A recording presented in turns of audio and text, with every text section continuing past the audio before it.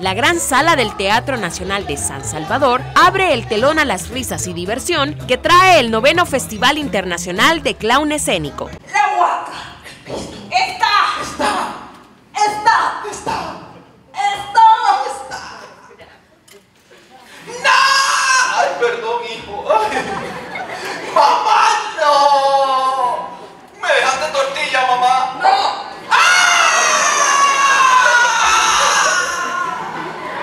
Con el lema Viva la risa, un grupo de artistas locales y de diferentes países de Latinoamérica invita al público salvadoreño a disfrutar de presentaciones llenas de carcajadas, humor y muchas sorpresas. Ah, ven acá. Sí, mamá. Ahora me acordé que me tengo que ir a arreglar el pelo. Ah. Te quedas acá, sentadita. Sí, mamá. No sales a mojarte, por favor, porque las citas en el seguro las dan 20 veces después. Me ven?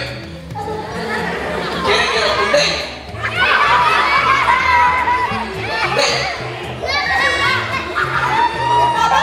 La presencia de Salarrué es una de las presentaciones que puso a reír a chicos y grandes.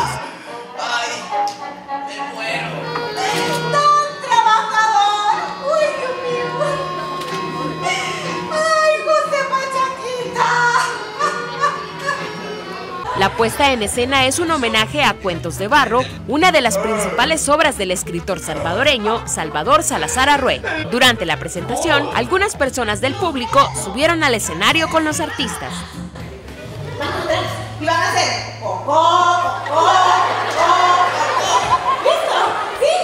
El festival es organizado por la Asociación Cultural y Real Teatro y se estará desarrollando del 29 de septiembre al 6 de octubre en el Teatro Nacional de San Salvador. Informó para la Clarisa Ramos.